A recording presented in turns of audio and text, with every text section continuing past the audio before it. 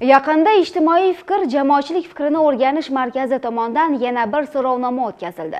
Oila va ma'naviyat mavzuida olib borilgan ijtimoiy tadqiqotda qatnashganlarning 94.5% davlatimiz oilalarni qo'llab-quvvatlashga katta e'tibor berayotganini e'tirof etgan.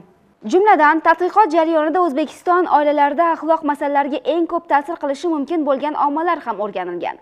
O'zbekiston oilalarining ma'naviy axloqiy asoslarini shakllantirishda oila 86.7% bilan, mahalla 52.1% bilan, ta'lim muassasalari 48.2% bilan, ijtimoiy muhit 33.9% bilan va televideniyaning 29.4% bilan ta'sir etishi haqidagi fikr bir necha yillik so'rovlar mobaynida barqaror qolmoqda. So'rovnoma respondentlarining fikricha, mamlakatimiz aholisining 96% o'z oilasini mustahkam va baxtli deb hisoblaydi. Muxbirimiz Hadiya Abdullayeva ana shunday oila vakillaridan birining xonadonida mehmon bo'ldi. Uning xabar qilishicha, 4 nafar egizakni dunyoga keltirgan oila vakillariga davlatimiz tomonidan 3 xonali uy sovg'a qilingan.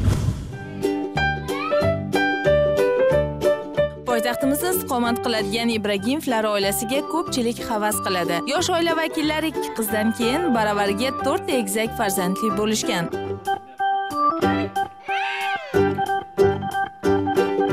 Men juda ham baxtliman. Farzandlarim yonimda sog'-omon katta bo'lishyapti. Shifokorlarimizga rahmat. Doim kelib xabar olib qarab turishadi. 2016 yilni sog'lom ona va bola yili deya atalgani ayniqsa muxlislarni quvontirgani aniq. Axir har qanday ona uchun farzandlari quvonchini ko'rish hamda ularning salomat bo'lib o'sib ulg'ayayotganini his etish muhimdir.